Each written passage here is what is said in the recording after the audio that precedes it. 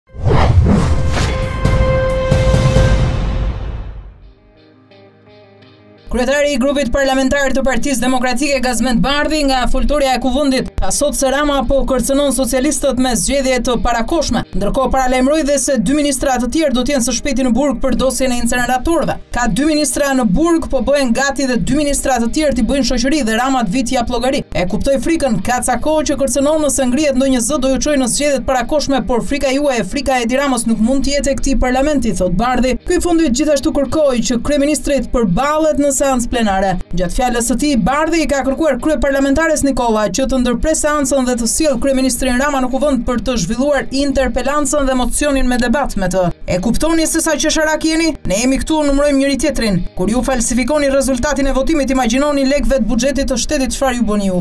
Ju gënjeni për çdo gjë dhe mendoni se do të bëni seancë normale. Votove procesverbalin e seancës së shkuar. Kur kërkuam prezencën e kryemafiozit tuaj, na thatë që bëjmë interpelancë dhe mocion me debat. Ke dy kërkesa të opozitës, një që është interpelancë urgjente dhe një mocion me debat për atë që konsiderohet vjedhja e shekullit. E kuptoj që doni ta kaloni këtë vjedhje në heshtje, por ju nuk mund ta kaloni aferën e inceneratorëve pa debat dhe pa dhënë llogari Edi Rama. Ju kërkoj të ndërprisni seancën, të ftoni kryeministrin dhe jepni guxim dhe të vijë në seancë dhe t'i përgjigjet kërkesës së opozitës për interpelancë dhe mocion me debat, thotë Bardhi.